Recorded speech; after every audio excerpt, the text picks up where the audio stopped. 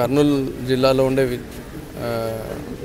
వివిధ విద్యార్థి సంఘాల నాయకులందరూ కలిసి వచ్చి నాకు ఒక వినతి పత్రం ఇవ్వడం జరిగింది.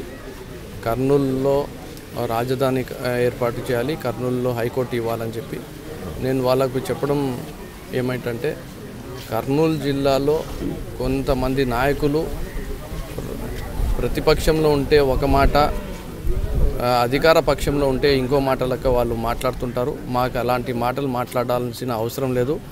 వాళ్ళ రాజకీయ ఉనికి కోసం వాళ్ళు చేసే మాటలకి మేము స్పందించాల్సిన అవసరం కూడా లేదు. కానీ మీరు ఏవైతే డిమాండ్స్ చేస్తున్నారో అవి చాలామంది ప్రజలకు మనసులో ఉన్నాయి.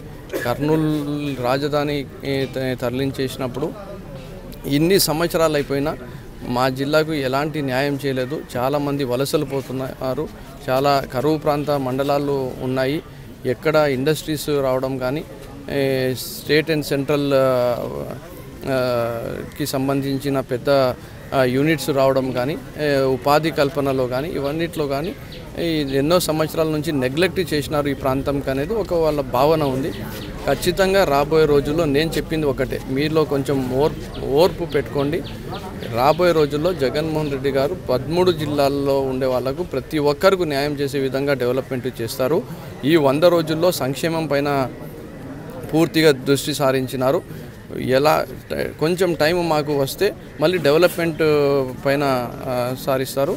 ఎక్కడ ఏ జిల్లాకు ఏం చేస్తే బాగుంటుంది అనే విధంగా చేస్తారు. ప్రతి రూపాయికి రిటర్న్ ఆఫ్ ఇన్వెస్ట్మెంట్ ప్రజల డబ్బు కాబట్టి ప్రతి రూపాయి ప్రభుత్వం ఎక్కడ పెడితే దాని నుంచి రాష్ట్రానికి రాష్ట్ర ప్రజలకు మేలు జరిగే విధంగా ప్రతి నిర్ణయము ఆయన తీసుకుంటున్నారు. దుబారా ఖర్చులకి కానీ కరప్షన్కి కానీ అసలు చోటు లేకుండా పూర్తిగా ట్రాన్స్పరెంట్ సంక్షేమంతో కూడిన ఒక వంద రోజుల ప్రభుత్వము ఆయన నడిపారు.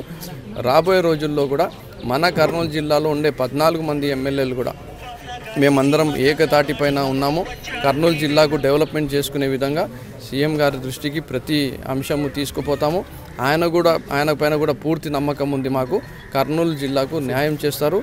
న్యాయం చేసే విధంగా ఆయన అటువైపు అడుగులు వేస్తారనేది మా పూర్తి నమ్మకం.